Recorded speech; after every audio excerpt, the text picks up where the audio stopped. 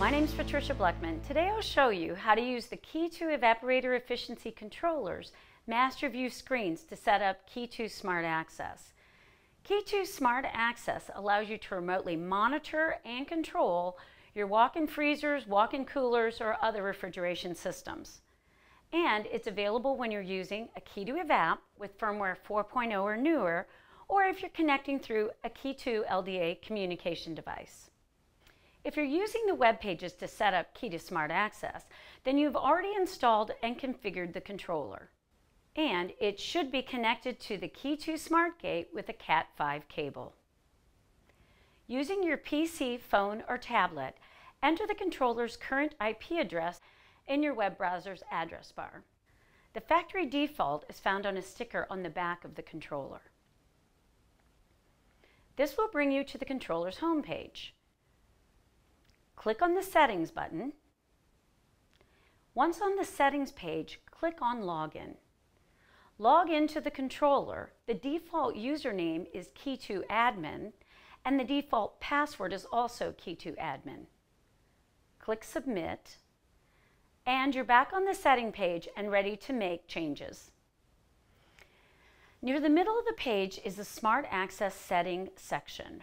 First click the Press to Enable button and click OK. Then the controller will ask you to verify you want to enable Smart Access. Click OK again. If your controller is not connected to a KE2 Smart Gate, you may need to enable DHCP mode. If you aren't certain, you should enable DHCP.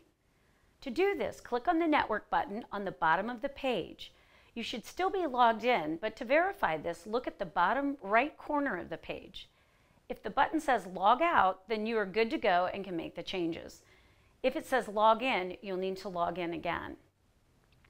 Okay, so we're on the network page and in the upper right corner is the controller network section.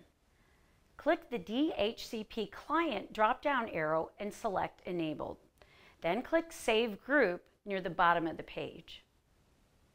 So we're finished setting up the controller and we're ready to pull up the dashboard. Using your PC, phone, or tablet, enter smartaccess.ke2therm.net in your web browser's address bar. Once you reach the login page, enter the default information. The default site information is installer, and the password is the controller's MAC address found on the back of the controller. Enter it and click Login. And you're now on your own KE2 Smart Access portal. As you set up additional controllers on the portal, you will see them join the dashboard. From the dashboard, you can take an in-depth look at an individual controller's web page by simply clicking on that controller and accessing the controller's web pages.